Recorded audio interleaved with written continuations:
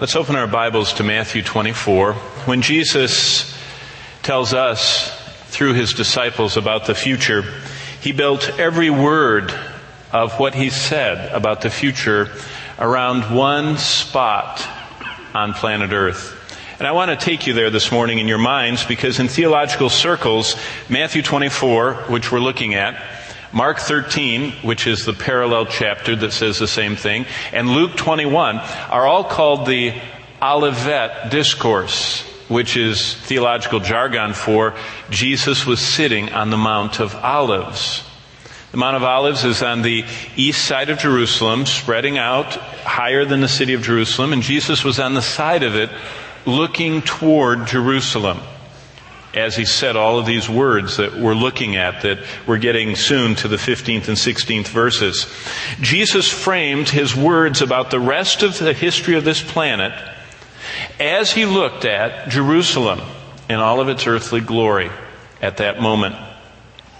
As we look at Christ's first words, and I want to remind you, look at verse 2 once again. We've gone over and over and over this, but every time I spend another week looking at it and reading it. Just it just uh, deepens. But look what he said in verse two. And Jesus said to them, after they asked him uh, their question, "Do you see all these things?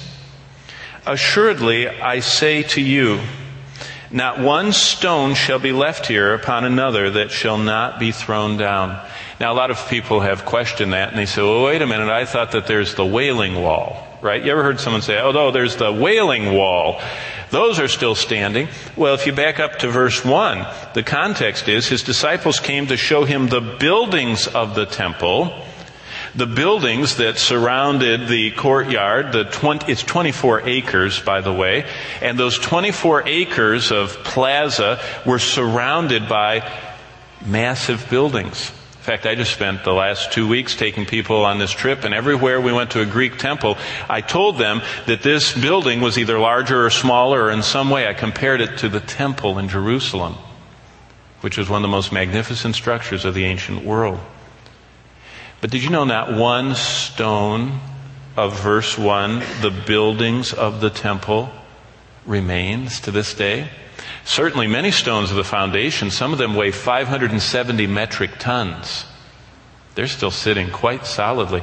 But Jesus said in verse 2 not one stone of what you just asked me about, those buildings that circle the, the temple itself, the 24 acre plaza, not one of them will be left here upon another that shall not be thrown down.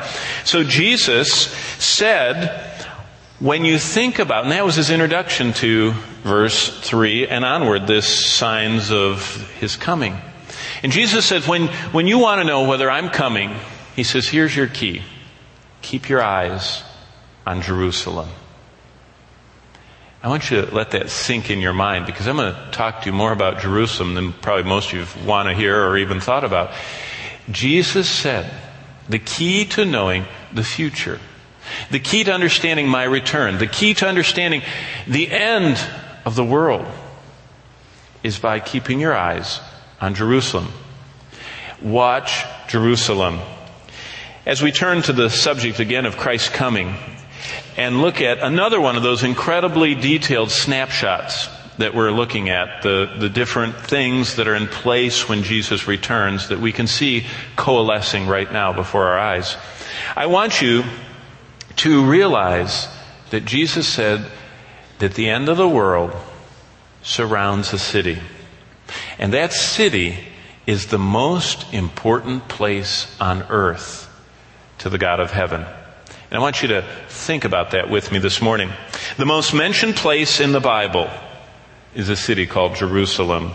The center of the world and the prophetic universe is the very same city. In fact, I've made it my hobby that Jerusalem's my favorite city. When I travel, especially uh, to groups and there's some gathering of Christians and they want to have this way to know each other, they usually play these little games and you fill in the, the squares and what's your favorite food and your favorite, all this stuff. And I always says, what's your favorite place? And I always put Jerusalem. Well, and then I explain it next to Bonnie or Jerusalem, preferably together. You know what I mean? Uh, but Jerusalem is my favorite city. It is the city that God chose for himself. Let me just read to you. 1 Kings 11 says this. I will not, Jesus is uh, uh, promise that, that, that David, uh, he was a son of David and the throne of David would continue. And that whole promise from the birth of Christ goes back to a promise God made to David. And this is what the Lord said. I will not tear away the whole kingdom. I will give one tribe to your son. This is to Solomon, he's saying, for the sake of my servant David, because that promise that Jesus would be a son of David and his throne would continue forever. But listen to the end of 1 Corinthians 11:13. God speaks. And for the sake of Jerusalem, which I have chosen. Jerusalem's the one spot on earth that God picked and said, That's mine. He says, Everything else is just, you know, going, going to destruction, but that is my place. I want that place. Ancient maps before modern times always put Jerusalem in the center of the world. I think that was pretty fitting. Jerusalem is God's timepiece. If you look at Jerusalem, you can tell what time it is prophetically. And that's what I want to impress on your minds this morning. The final events of world history will culminate there, at that spot. The spot from which Jesus ascended to heaven in Acts 1 is a spot to which Jesus will descend in glory. Revelation 19. So all of human history surrounds that place called Jerusalem. Jerusalem is mentioned over 800 times by name, actually 814 times. Uh, Zion, a euphemism, another name, a code word for Jerusalem, is mentioned 160 more times. City of David, Another description of that is mentioned 46 times. So over 1,000 times. It's the most mentioned place on this planet. And God says, it's my place. Jerusalem is a very important place. In Jerusalem, God promised Christ's coming as the Lamb of God. When did He promise that?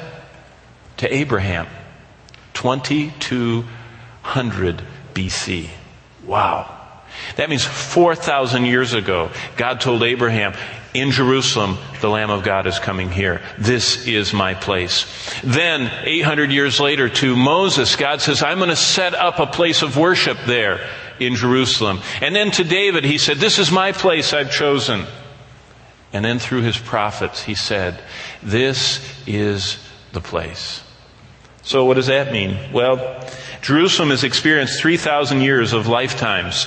Abraham and Isaac on the altar of Moriah, a stone's throw from the center of Jerusalem. David, the shepherd king, as he was watching Bathsheba from a distance in that very same city. Jeremiah, as I mentioned to you in our reading this morning, walking around the burning heaps of rubble of the destruction of the first time by Nebuchadnezzar, was writing his laments. Peter's betrayal was in the city. Jesus walked the way of sorrow. Here it is that Jesus died with forgiveness on his lips. And here it was that Peter, on the day of Pentecost, shouting to all who would hear that Jesus was risen and that forgiveness was found in his name. But today, all that's left from Christ Jerusalem is the Western Wall. That's all that's left from the Jerusalem of Christ days, just the foundation stones. And I thought it was interesting last June when we walked up to that Western Wall Plaza, I found something new. The Jewish government put a 10 foot high sign up, and it's about an arm's width wide, and it's at every entrance to the Western Wall. Now, this is not, this is not the Messianic, you know, Jews for Jesus crowd, and this is not the Hal Lindsey, Left Behind, LaHaye crowd. This is the secular government of the nation of Israel. And I copied it for you because I knew you wanted to know what they said. And this is what it says when you walk into the, the only spot left from the time of Christ. This is what it says. Ten feet high. Quoting. I got every word.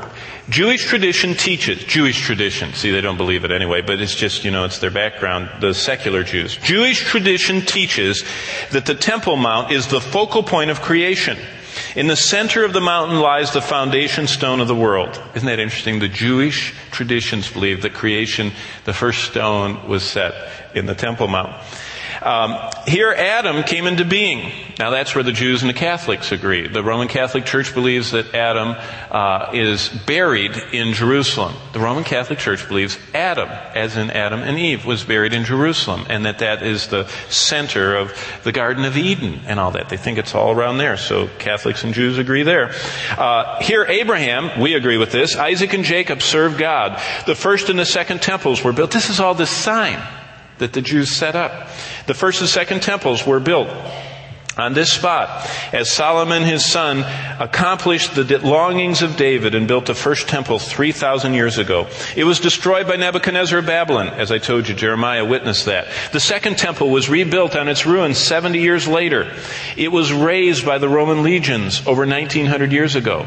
And that's what Jesus is talking about right here in verse 2 of chapter 24 of Matthew's Gospel. Um, the present Western Wall, and that's why the sign is there, before you is a remnant of the Western Temple Mount retaining walls.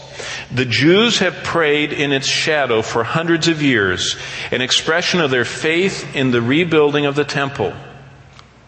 In the rebuilding. Those signs just went up last June. In print, the secular government of the nation of Israel, 10 foot high at every entrance to this plaza, wrote, and I'll read it again Before you stands the shadow of hundreds of years, an expression of the faith in the rebuilding of the temple. They're putting us on notice. They want to rebuild that place.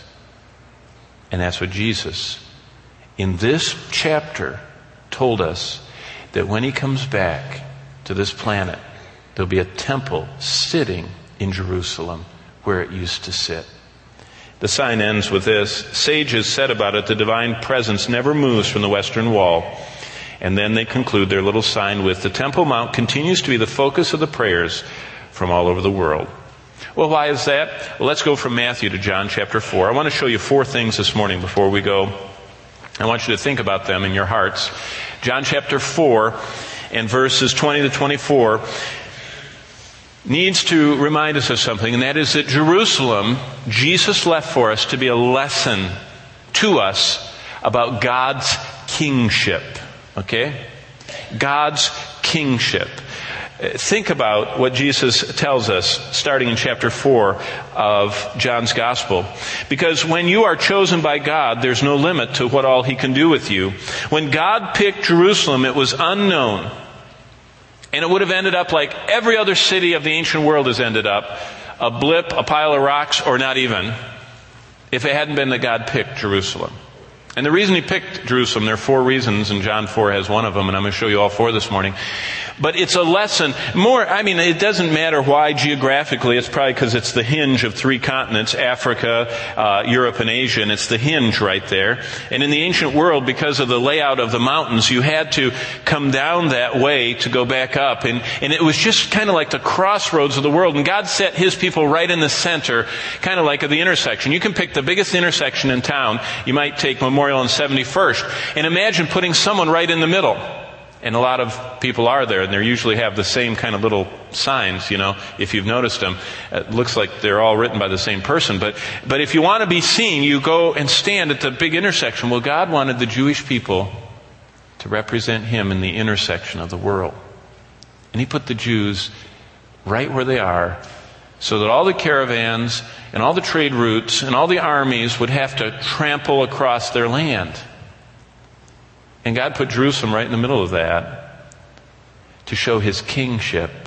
Because when God picks you, there's no limit to what he can do with you. And when God picked Jerusalem, unknown and headed toward what every other vanished city whose ruins dot the globe was headed toward, he said, no.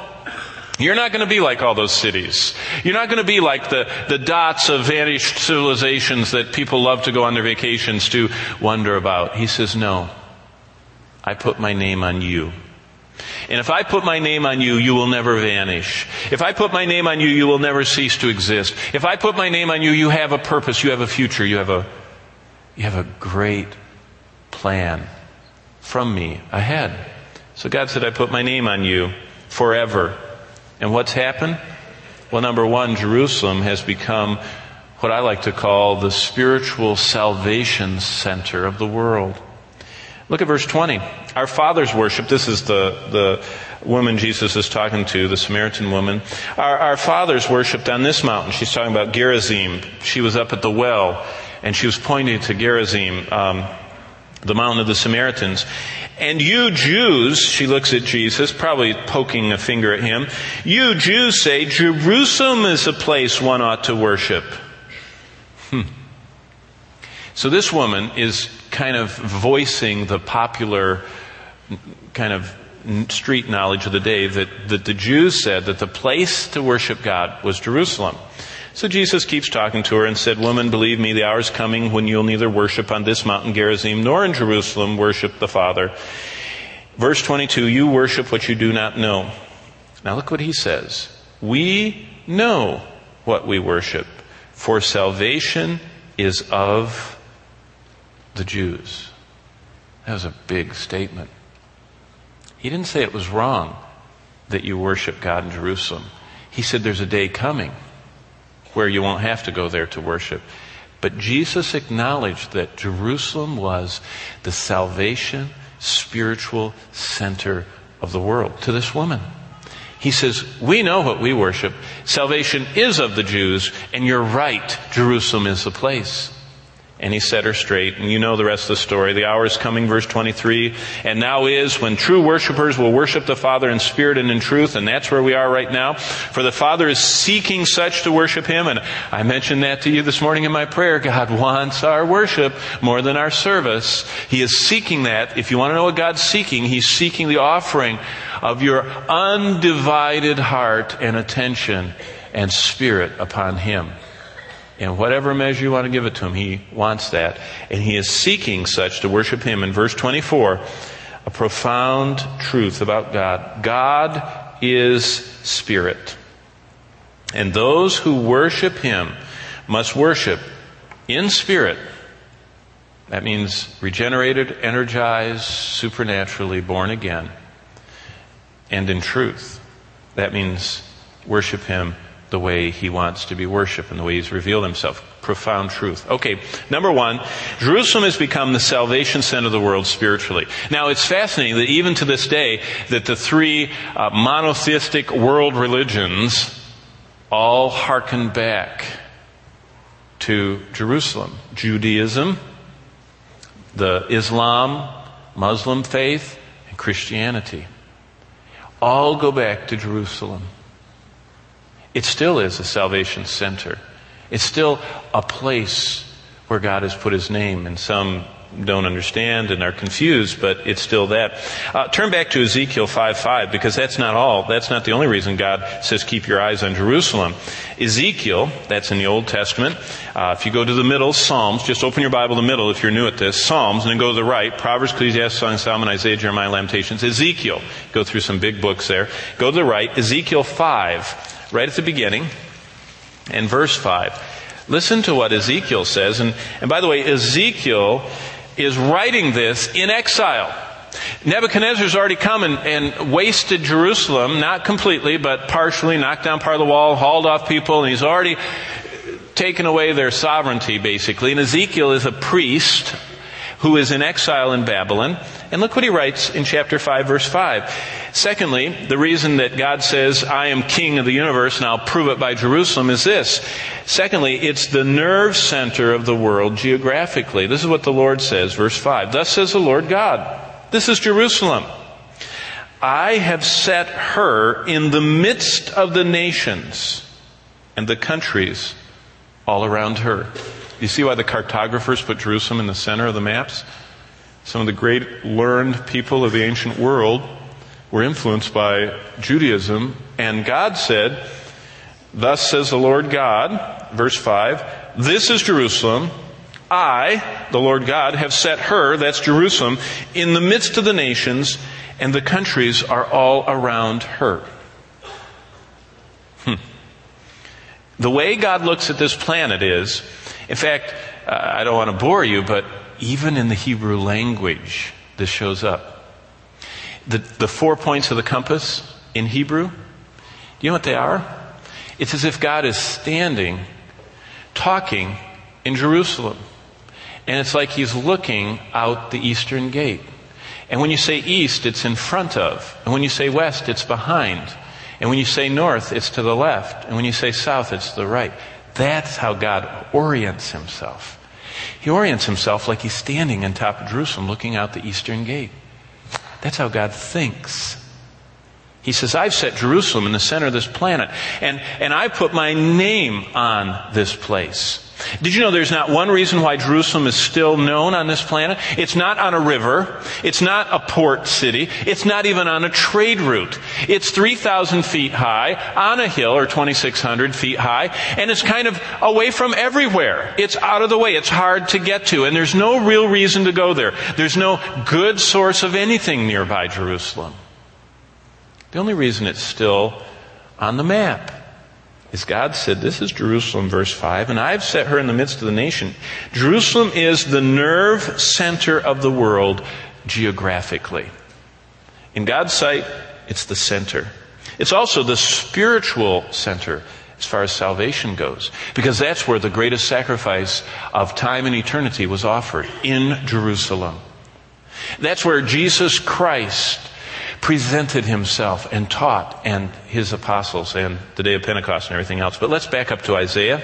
That's before this. Go back, back up now, back toward the Psalms to Isaiah and chapter 2. Let me show you the ending.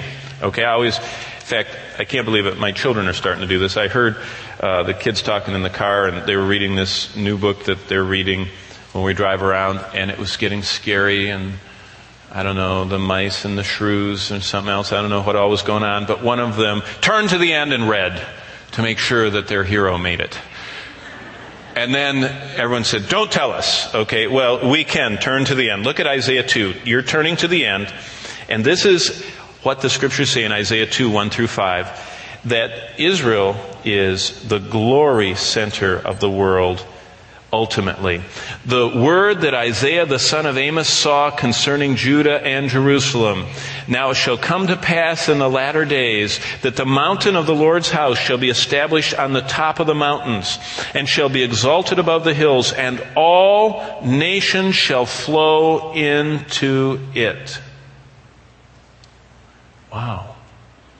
You know, God sure made a lot of promises. He's going to have a hard time keeping if Jerusalem doesn't stay around. Do you, do you see what he just said? He said, verse 1, the word Isaiah, son of Amos, saw concerning Jerusalem. Wow.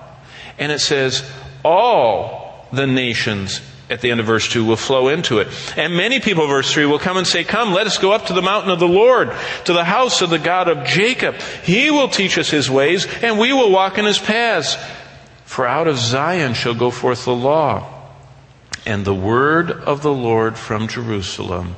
And he shall judge between the nations and rebuke many people, and they shall beat their swords into plowshares. Why, there's a verse that's even at the United Nations. And they said they shall beat their swords into plowshares and their spears into pruning hooks. And nation shall not lift up sword against nation, neither shall they learn war any more. Verse 5, O house of Jacob, come, let us walk in the light of the Lord. You know what? The glory center of the world ultimately is going to be Jerusalem. And it says here, every nation on this planet is going to be streaming toward Jerusalem. In fact, if you want to know about eight of the hardest chapters in the Bible, read Ezekiel 40 to 48. Ezekiel 40 to 48, the ending of the book of Ezekiel we were just in, is a very graphic description of the temple that God is going to have built after the second coming, after the tribulation, after he takes over this world, and he's going to have this gigantic temple built in Jerusalem.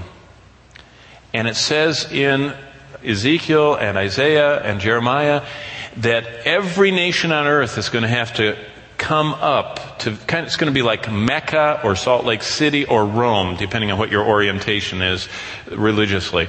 It's going to become the place where everyone has to go and to be Jerusalem in what we call the millennium. And right here is one of the great promises about this city. It's going to be the glory center of the world ultimately. And God said, I've staked my name on it. But this is where I want you to get. Now turn to the end of the Old Testament, Zechariah. You go to Matthew and back up, and there's little short Malachi, and then the long book is Zechariah. And I want you to look at chapter 12, okay?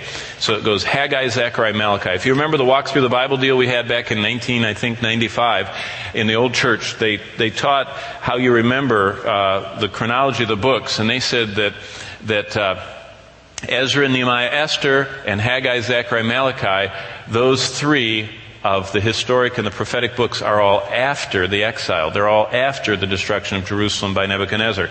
So we're in that, that time after the exile, after the destruction, and with the rebuilding of the city. And this is what Zechariah says. I love it. Chapter 14. Uh, of the book of Zechariah. This is the last reason why we should keep our eyes on Jerusalem. Number one, it's the salvation center of the world spiritually, and the nerve center of the world geographically, the glory center of the world ultimately in the future but, but for our reading the newspaper, Zechariah says it's the storm center of the world prophetically. Now, when we used to live on the East Coast, we always watched the hurricane season because, as you know, Florida's been getting them, but before that, it used to come up further, and New England had been hit hard, and a lot of death and devastation over the years. And so whenever tornado season, and what they did is they would watch the weather in Africa because that was the storm center. The rainfall patterns of Africa determines what's going on down where the tornadoes or the hurricanes form. And then you would start watching them being lobbed toward the coast. Well, you know what the Bible says? The storm center the place that warns you about what's coming as far as on the prophetic horizon. The storm center prophetically of this planet is Jerusalem. This is what it says in Zechariah 14. I'm going to read the first eight verses. Zechariah 14, Behold, the day of the Lord is coming. If you know anything about the Bible, day of the Lord is code word for the end, the second coming, not the rapture. This is all oriented toward the Jews. And so the day of the Lord is when God rescues the Jews and rights all wrongs, and Jesus comes back to the earth. So that's called the day of the Lord. It's a time of, of, all the way through the prophets, much described. Behold, the day of the Lord is coming. That's another way of saying the second coming is coming. And your spoil will be divided in your midst. He's writing to the Jews here. For I will gather all the nations to battle against Jerusalem. Wait a minute. When Zechariah wrote this, it was after the what? It was after the destruction of Jerusalem by Nebuchadnezzar. When Zechariah wrote these words, there was not a city of Jerusalem. There was nothing but blackened stones. There's nothing but tumbled down walls. There was no temple. There was no city. Uh, Nehemiah had not come and built the wall back. Zerubbabel had not come back and, and Haggai had not prophesied and they had not started the temple again. When, Jer- or when Zechariah wrote these words, and there is a spot on the Mount of Olives where they say he wrote it. It's a cave. It's a very sobering place to stand in that cave on the east side of Jerusalem and look at that magnificent city and to read this wording and to think when Zechariah wrote these words, there wasn't a city there. Now look what he wrote. Verse 2. I, that's the Lord God Almighty. God says, I'm going to gather all the nations of planet Earth against Jerusalem. And I'm sure that Zechariah went, There's nothing out there. Nobody even knows where we are. There are no trade routes that come through here. There, we're not even on the map anymore. And God said, 2,500 years ago, I will gather all the nations to battle against Jerusalem. The city will be taken. So there's going to be a city here again. The houses rifled, the women ravaged. Half the city will go into captivity, but the remnant of the people shall not be cut off from the city. Verse 3. Then, so this gives us a little idea of what the climax of the tribulation is going to be like. All the nations are going to come this is Armageddon stuff. And they are going to march, and Jerusalem is going to fall, and they're going to be ravished, is, is another word for saying sexually molested. I mean, it's going to be a horrible thing. There's going to be uh, raping going on, there's going to be murder going on. The Jewish people are going to be in that city, and it says half of the city will be taken if, if you read the other uh, sections. And then it says two thirds. So it's half is taken and two thirds are, are ravished and killed. But look at this. But the remnant shall not be cut off. And then the Lord will go forth to fight against those nations as he fights in the day of battle. Now here is the second coming. If you've waited for it, it's verse 4. And in that day, this is Revelation 19 that you see in Revelation, but here is John or uh, Zechariah seeing it ahead of time. And in that day, his feet will stand on the Mount of Olives. And what have I told you all morning? Which faces Jerusalem on the east. Okay, here's the Mount of Olives, and you look at Jerusalem, and you look in the eastern gate, and you see all that. And Jesus, as he's looking at Jerusalem, comes down and we even know how he comes down. He comes down facing Jerusalem. And it says his feet touch it as he looks at that city. It's just amazing to see the future like this. And the Mount of Olives shall be split in two from east to west, making it a very large valley. Half the mountain shall move toward the north, half toward the south. By the way, do you know what's on the back side of the Mount of Olives? Abu Dis, the Palestinian headquarters.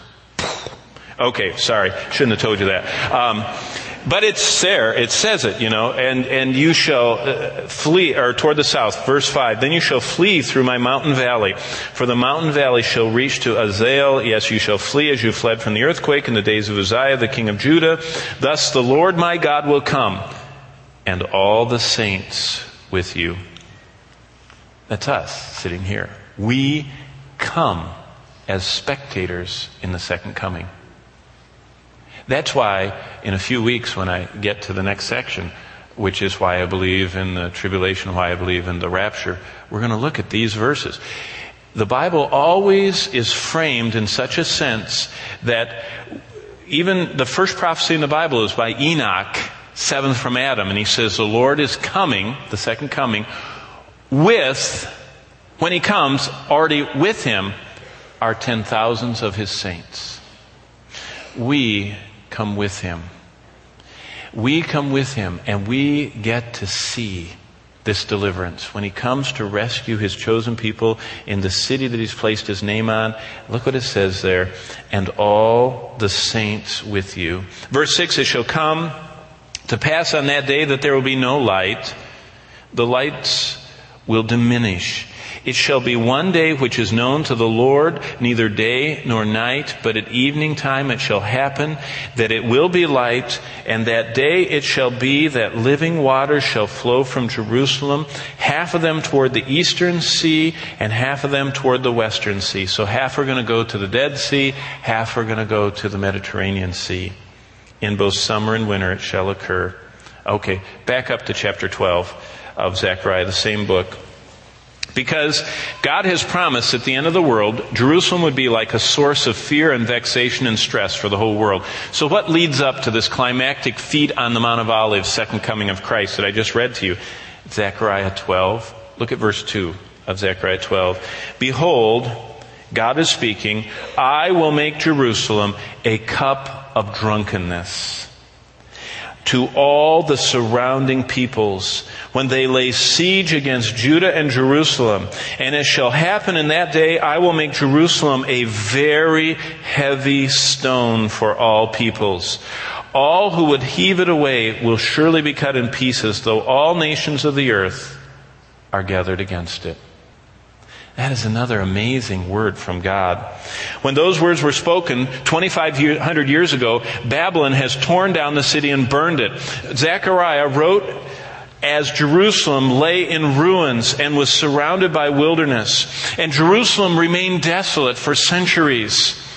And century after century passed, and again it was rebuilt by Herod, and the Romans came and laid siege to it and destroyed it again. And Zechariah's prophecy that I just read to you in verses 2 and 3 of Zechariah 12 seemed like madness. It was one of those things that must mean something other than what it says. I mean, it's not going to happen here. And even after Israel's rebirth in 1948, it didn't seem like it was possible. Yet today, this prophecy is exactly as it is foretold. In a world of nearly six billion people, nearly every nation on earth has their eyes on Jerusalem. Why? Because of the Muslim world. Because the Muslims have their third holiest shrine there. And the Jews last June started putting up 10 foot high signs that say, We are going to rebuild our temple. I'm not talking about the temple faithful that always have said these wacko things. I'm talking about the nation of Israel, sovereign nation, has put up a 10 foot high sign at every entrance that you have to go through. It says, We're going to rebuild a temple up here. That's why the whole world is fearful that the next world war, if it breaks out, will be fought over that tiny city. That is a fulfillment of prophecy. When Zechariah 12, 2 and 3 was written, Jerusalem, as he looked across from his cave on the Mount of Olives at the burned city with its stones laying down, there was no city, there was no hope for the future, and yet God told him to write that every nation on earth is going to surround that city and try and get it. And he must have said, God, I hope you know what you're saying. I'm writing this down in your book. And it's going to stay forever settled in heaven. Jerusalem is a small city, has no commercial importance nor strategic. Yet the eyes of the world are on it as no other city. Jerusalem is indeed a burdensome stone around the necks of all nations in the world. It is the most vexing and the most volatile problem that the United Nations faces today. You look at the majority of the stuff going on over there, the majority of their, their edicts that they make, their resolutions or whatever they are, have to do with something with Israel. The majority. Unbelievable. There is no ordinary explanation for this. What the Hebrew prophets declared thousands of years ago, what seemed utterly fantastic and wild in their time, is fulfilled in your and my lifetime. And this is all part of the evidence that the prophesied last days are probably upon our generation. Because another little piece of this puzzle is that God said that Persia, the prince of Persia, is going to be working night and day for the destruction of God's people. Persia in the Bible is Iran of today. And the Iranians are building atomic components as fast as they can. They've already bought the missiles and developed them to deliver them. And they're trying their hardest to put some atomic tipped stuff, weaponry, on the ends of their missiles, just like God said. Well, back to Matthew 24, and we're going to have to wrap this up. Matthew 24 says this Verse 15 is where we've gotten to. This is the snapshot that we're on. Matthew 24 and verse 15 and 16. When Christ returns, the wandering Jews have come back to the promised land. I told you that last week. He says, verse 16, let those who are in Judea flee to the mountains. For Jesus to say that, there would have to be someone living in Judea. The Roman Empire banished the Jews, said they couldn't come back to Jerusalem. Jesus said, the Jews are going to be living in Jerusalem when I come back. So the Roman Empire has dissipated, but God's word continues. And that's the first thing we see from those two verses. The second thing is, look at verse 15, back up, when you see the abomination which is spoken by Daniel the prophet, standing in the holy place. Let him who reads, let him understand. The second thing we see from these two verses is, number one, that the Jews would return, and I went through that completely last time, all the promises and that they've done it. The second thing is that there's going to be a temple there, because they're going to be in the holy place. And the way that the word is used is that is the temple. That is uh, the word the Bible uses for the temple. And Jesus saw it there. And if Jesus saw it, I know we're going to see it. When Christ returns, the third temple is built in Jerusalem. And what did Jesus and Daniel and Paul and the Apostle John all have in common? Each of them saw the future temple of God standing in Jerusalem at the end of earth's days. And I told you that last June, those signs showed up. I mean, I've been going to Israel uh, for 20, 20 some years. They just showed up last June we're going to rebuild our temple one way or another. By the way, how are they ever going to build that temple? Well, I told you last time that the Jewish Sanhedrin uh, reconvened on January 20th, 2005. 71 sages following the prescriptions of the ancient Jewish writings. Then on February 9th, just right after their first thing, three weeks later, they began to reinstitute the beginnings of discussions how you do animal sacrifices. The New Testament tells us that there are animal sacrifices at the temple. They're talking about it. Well, look at, at Matthew 24 15. Wherefore, when you see the abomination of desolation spoken of by Daniel the prophet, just before we go, and this is the last one, turn back to Daniel 9. I want you to see this. This is where we're going to pick up next time. Jesus said, You're going to see something that Daniel saw. Jesus says, You, my, my people, I'm writing this to you to give you hope. I'm writing this to show you I keep my word. And if you see these things happen, you ought to be very filled with hope. Look at what Daniel 9, Ezekiel, Daniel, Hosea, Joel, Amos. So if you just back up from Matthew, you'll find it's the biggest book uh, back from Matthew there before the big prophets. Daniel 9, and starting in verse 26. After 62 weeks, Messiah shall be cut off, but not for himself. That's the substitutionary atonement. That's Jesus dying not for himself, but for the sin of the world. So there's Daniel um, looking forward to the substitutionary atonement of Christ. And the people of the prince who is to come shall destroy the city and the sanctuary. Who destroyed Jerusalem in AD 70? The Romans. Now look at how they're described as the people of the prince who is to come. That's where we get the revived Roman Empire. I just taught that this week in school. The Roman Empire was never destroyed, it just dissipated. The Roman Empire is still in place. And every piece of it has had their day in the sun. Have you ever thought about that? England, the sun never set. That was part of the Roman Empire. The Spanish armada that, that ruled the seas, they had their day in the sun. The French and Napoleon had their day in the sun. The Germans twice had their day in the sun. The Italians had their day, especially uh, through the, the working with Hitler and all that.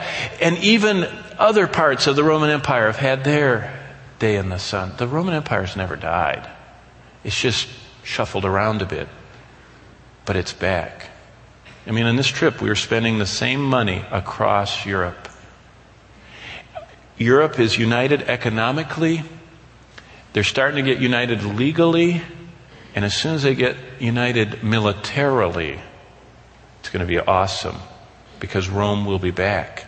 And who knows all that? I mean, it's interesting. We'll get into that later, what's going on with the ten and all that. But look what it says in, in the next verse, in verse 27. Then he, that's this leader of this people of Rome that have come back, the revived Roman Empire, which could be united Europe, then he, this this president of Europe or whatever uh, he might be, will confirm a covenant that is a peace treaty with many for one week. That's what we call the one week, the tribulation, seven years. And it starts out with peace. What the world's always wanted peace. And this leader's going to rise up and he's going to promise peace to the world. And he's going to probably have the power and the finances and whatever to do it.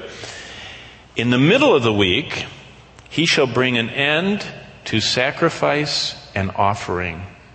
And on the wing of abominations shall be one who makes desolate.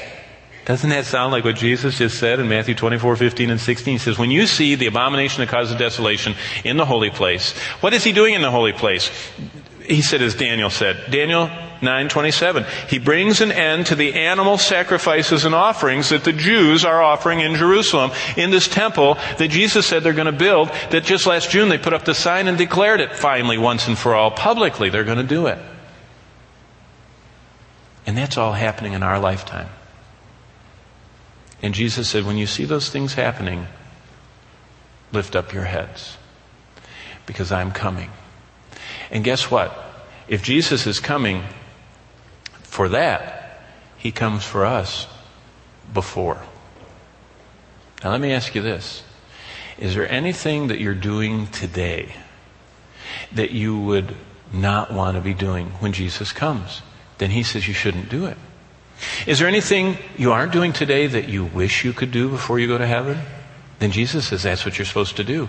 And that's what the church was supposed to be engaged with because we never know when he's coming. Because he doesn't have to come just before the abomination that causes desolation. He just says that when that's there, I'm coming. That's why Paul thought he was coming in his time and that motivated him. And that's why Peter was faithful to the end and it motivated him because he was looking for Christ's return. And that's why the first century church was looking for Christ and standing in the arena and living in the catacombs and gladly taken the spoiling of their goods, as Hebrews 11 says, because they looked for him to come. We're the first generation of the church that's not excited about Christ coming. Do you know why? We feel like we're in heaven now. It's so nice. And that's why the Lord, probably on this Christian nation, is going to bring great trouble. So that the real Christians here will get back to looking forward to Christ's coming. Let's bow before the one who's coming and tell him we want to be ready. Father in heaven, I thank you for these snapshots that Jesus gives us. Thank you for how it ties the whole Bible together. It thrills my heart to see all the components prepared centuries ago by your prophets that Jesus alludes to and that we're seeing before our very eyes this morning. And Lord, as John said, even so come quickly, Lord Jesus. May we say with him, Let me not be ashamed before you at your coming. I pray that your Spirit would, would take the scalpel and, and cut in our hearts and point out the areas that are treasures to us that deflect our love from you, our attention from you, the anxious thoughts, whether they be for the future, whether they be for our problems or our health or our finances that keep us from worshiping you more frequently, more fully, more completely. And Lord, I pray for any who don't even yet know you, so you're not coming for them. I pray that today that they would feel the stirrings of your spirit and that you would draw them to yourself. Draw us closer that we can live expectantly for your return. Tonight, as we come to your table and as we look at how on this very passage, the Apostle Paul taught the Thessalonians how they could live every day really looking for your coming. As we get ready for your table and get ready for your coming, help us to live that way. And so we commit ourselves to you until you come or call. And for any that don't know you, I pray today they might seek you, whom to know is life eternal. In the name of Jesus, we pray. Amen.